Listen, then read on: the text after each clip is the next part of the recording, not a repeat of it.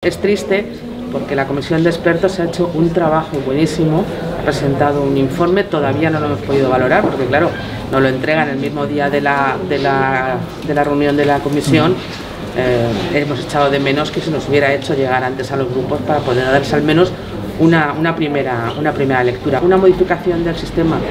que suponga que ninguna de las que están recibiendo por encima de la media disminuya lo que está recibiendo y que las que estamos recibiendo por debajo de la media tengamos que aumentar los recursos que estamos recibiendo, significa que hay que aumentar los recursos para la financiación autonómica y eso lo que conlleva, pues, como digo, un aumento para la presión fiscal a los, a los españoles. Nosotros no vamos a entrar en este debate eh, que está viciado de origen y que, y redunda en desigualdades entre los españoles. Ya hay comunidades autónomas que no quieren entrar a este, a este debate.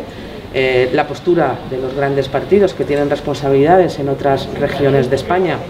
eh, es muy difícil que sea la misma eh, en conjunto, ya hemos visto hace unos pocos días como Pablo Casado defendía en Castilla y León una postura que no era nada beneficiosa para la comunidad valenciana o la que está defendiendo el Partido Popular en la comunidad valenciana y suponemos que con el Partido Socialista pasará algo parecido. Pues nosotros le hemos hecho saber al conseller muy claramente que no cuente con Vox para este falso debate, que no cuente con la unanimidad de todos los grupos